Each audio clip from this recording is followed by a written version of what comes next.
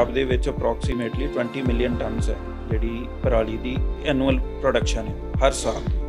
ਜਿਹਦੇ ਚ 80% ਸਾੜ ਦਿੱਤੀ ਜਾਂਦੀ ਤੇ ਇੰਨਾ ਰॉ ਮਟੀਰੀਅਲ ਆਪਾਂ ਸਾੜਨ ਦੀ ਬਜਾਏ ਪ੍ਰੋਸੈਸ ਕਰ ਲਈਏ ਤੇ ਬੜੀ ਵੱਡੀ ਮਾਰਕੀਟ ਬਣਾ ਸਕਦੇ ਇਹ ਜਿਹੜੀਆਂ ਟਾਈਲਾਂ ਇਨਸੂਲੇਸ਼ਨ ਦੇ ਵਿੱਚ ਅਗਰ ਕੰਮ ਆਉਂਦੀਆਂ, ਤੁਸੀਂ ਦੁਬਈ ਵਰਗੀ ਮਾਰਕੀਟ ਟਾਰਗੇਟ ਕਰ ਸਕਦੇ ਹੋ। ਜਿਸ ਤਰ੍ਹਾਂ ਇਹ ਪ੍ਰੋਡਕਟ ਡਿਜ਼ਾਈਨ ਹੋਇਆ ਹੈ, ਇਹਦੇ ਤੇ ਵਾਲਪੇਪਰ ਜਿਹੜਾ ਮਰਜ਼ੀ ਲਗਾ ਲਓ। ਮਤਲਬ ਸਾਲੋਂ ਸਾਲ ਹੀ ਚੱਲਣ ਵਾਲੀ ਚੀਜ਼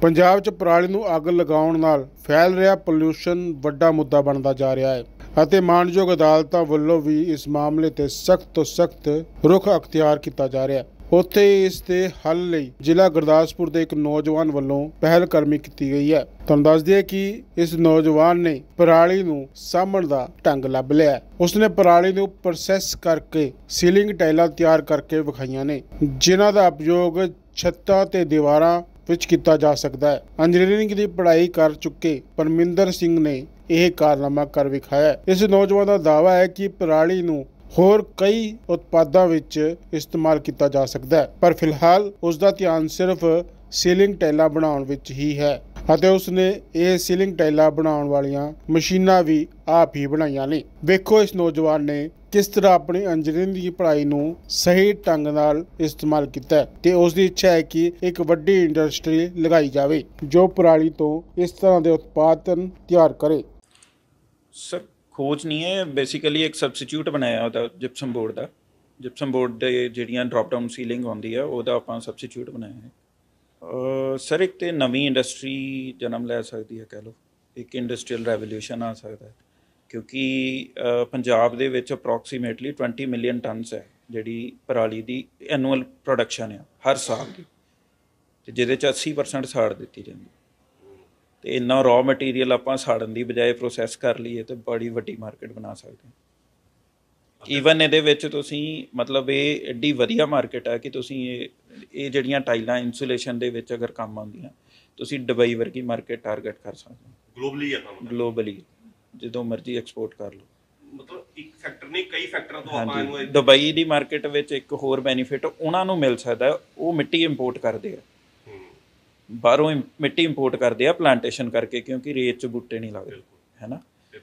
ਪਰਾਲੀ ਐਜ਼ ਉਹਨਾਂ ਦਾ ਜੇ ਸਪੋਜ਼ ਕਿਤੇ 10-15 ਸਾਲ ਉਹ ਯੂਜ਼ ਕਰ ਲੈਂਦੇ ਆ ਇਹਨੂੰ ਉਹਨੂੰ ਬਾਅਦ ਚ ਕ੍ਰਸ਼ ਕਰਕੇ ਉਹਦੇ ਵਿੱਚ ਪਲਾਂਟੇਸ਼ਨ ਕਰ ਦਿੰਦੇ ਕਿਉਂਕਿ ਇਹ ਇਹ ਇਹ ਪਾਣੀ ਨੂੰ ਕਾਫੀ ਦੇਰ ਤੱਕ ਅਬਜ਼ੌਰਬ ਕਰਕੇ ਰੱਖਦੀ ਹੈ ਤੇ ਉੱਥੇ ਪਲਾਂਟੇਸ਼ਨ ਸਾਰੀ ਡ੍ਰਿਪ ਇਰੀਗੇਸ਼ਨ ਤੇ ਹੁੰਦੀ ਮਨ ਚ ਭਾਜੀ ਆਇਆ ਕਿਵੇਂ ਸੀਗਾ ਜੀ ਇਹ ਥੌਟ ਮਨ ਚ ਆ ਹੀ ਜਾਂਦਾ ਸਰ ਜਦੋਂ ਇੰਨੇ ਬਲੇਮ ਗੇਮ ਚੱਲਦੀ ਹੋਵੇ ਫਿਰ ਅੰਦਰੋਂ ਹੀ ਆਵਾਜ਼ ਆਉਂਦੀ ਹੈ ਅੰਦਰੋਂ ਆਈਡੀਆਜ਼ ਵੀ ਆਉਂਦੇ ਆ ਨਾਲ ਦੀ ਨਾਲ ਕਿ ਕੁਛ ਨਾ ਕੁਛ ਹੱਲ ਨਿਕਲਣਾ ਚਾਹੀਦਾ ਇਸ ਚੀਜ਼ ਦਾ। ਟਾਈਮ ਬਣਾਉਂਦਾ ਹੀ ਮਨ ਚ ਆਇਆ ਜਾਂ ਕੁਝ ਨਹੀਂ ਨਹੀਂ ਕਈ ਕੁਝ ਬਣਾਉਂਦਾ ਸੀਗਾ। ਪਹਿਲਾਂ ਬੜੇ ਐਕਸਪੈਰੀਮੈਂਟ ਕੀਤੇ ਰਬਰ ਮਿਕਸ ਕਰਕੇ ਕਈ ਕੁਝ ਕਰਕੇ। ਪਹਿਲਾਂ ਡਾਈਆਂ ਨਹੀਂ ਸੀ ਮਿਲਦੀਆਂ। ਪਹਿਲੀ ਵਾਰੀ ਮੈਂ ਜਿਹੜਾ ਛੋਟਾ ਸੈਂਪਲ ਬਣਾਇਆ ਸੀਗਾ ਉਹ ਇੱਕ ਮੋਟਰਸਾਈਕਲ ਦੀ ਟਿਊਬ ਵਿੱਚ ਸਾਰਾ ਮਿਕਸਚਰ ਬਣਾ ਕੇ ਪ੍ਰੈਸ 'ਚ ਦੱਬਤਾ ਸੀ।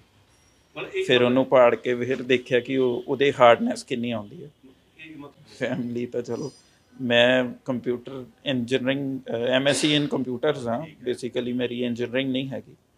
ਪਰ ਪਰ ਇੰਡਸਟਰੀਅਲ ਬੈਕਗ੍ਰਾਉਂਡ ਹੋਣ ਕਰਕੇ ਕਹਿ ਸਕਦੇ ਹਾਂ ਕਿ ਸਾਡੇ ਸ਼ੁਰੂ ਤੋਂ ਹੀ ਸਾਰੇ ਬਿਜ਼ਨਸ ਕਲਾਸ ਹੀ ਹੈ ਸਰ। ਐਕਚੁਅਲੀ ਹੋਰ ਵੀ ਕਰਦਾ ਰਹਿਣਾ ਥੋੜੇ ਜਿਹੇ ਪ੍ਰੋਜੈਕਟਸ ਤੇ ਕੰਮ ਪਿੱਛੇ ਲੋਕਡਾਊਨ ਚ ਹਾਈਡਰੋਪੋਨਿਕਸ ਤੇ ਵੀ ਇੱਕ ਯੂਨਿਟ ਬਣਾਇਆ ਹੋਇਆ ਮੈਂ ਘਰ।